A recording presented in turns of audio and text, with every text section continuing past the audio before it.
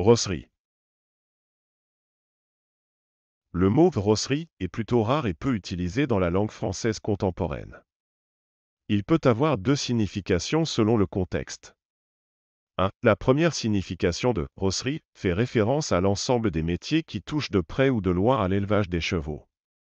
Cela peut inclure l'élevage, l'entretien des chevaux, la maréchalerie, etc. Cette signification était plus courante au XVIIe et au XVIIIe siècle. 2. La deuxième signification de rosserie est l'état d'esprit de quelqu'un qui se montre très enthousiaste, voire excessif dans ses affirmations et ses actions. Cette signification est plus rare et peu connue, mais elle peut être utilisée pour décrire un comportement excessif ou pour décrire une personne qui se montre un peu trop passionnée dans ses activités. Exemple 1. Jean est passionné par le monde équestre, il a étudié la rosserie pendant des années pour devenir un expert en élevage de chevaux. Exemple 2. Catherine est tellement enthousiaste à propos de ce nouveau projet, sa rosserie est contagieuse et motive toute l'équipe.